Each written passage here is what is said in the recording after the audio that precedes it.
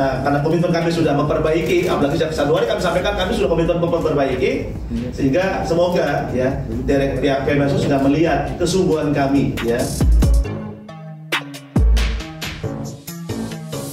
Presiden Yayasan Aksi Cepat Tanggap atau ACT Ibnu Kajar menyebut akan menyurati Kementerian Sosial untuk meminta pencabutan izin penyelenggaraan pengumpulan uang dan barang atau PUB dibatalkan. Surat tersebut akan dilayangkan pada hari ini, Kamis 7 Juli 2022. Ibnu menjelaskan bahwa izin PUB diberikan tiga bulan sekali dan saat ini merupakan masa peralihan untuk perpanjangan berikutnya.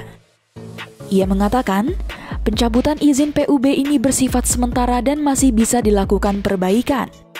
Jika ACT telah menunjukkan perbaikan yang dinilai tidak tepat dalam aturan PUB, izin dapat kembali diperoleh. Jadi ini yang yang membuat kami sangat optimis gitu ya.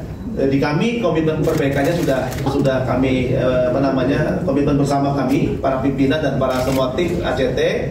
Nah, karena komitmen kami sudah memperbaiki, apalagi sejak Januari kami sampaikan kami sudah komitmen memperbaiki, sehingga semoga ya dari pihak Kemensos sudah melihat kesungguhan kami ya mengikuti aturan taat pada uh, kebijakan dan kami siap untuk dibina dan kami menunjukkan etikat baiknya semoga dengan cara ini surat kami bisa mendapat tanggapan yang positif.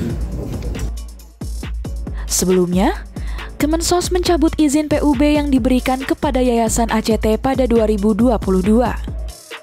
Menteri Sosial Ad Interim Muhajir Effendi mengatakan bahwa pihaknya melakukan pencabutan dengan pertimbangan adanya indikasi pelanggaran terhadap peraturan Menteri Sosial. Muhajir menyebut, langkah pencabutan izin ini ditempuh karena pemotongan uang donasi lebih besar dari ketentuan yang diatur. Diketahui, pembiayaan usaha pengumpulan sumbangan sebanyak-banyaknya 10% dari hasil pengumpulan sumbangan.